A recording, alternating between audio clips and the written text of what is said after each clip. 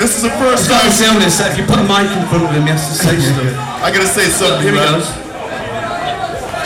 For the last 30 years, For the last 30 years, he's been like this.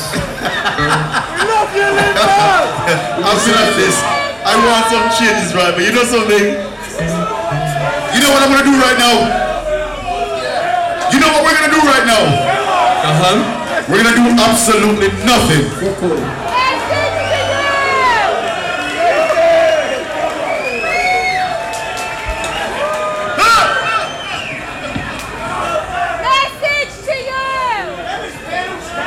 Don't shout for Monkey Man again? You did it about eight times.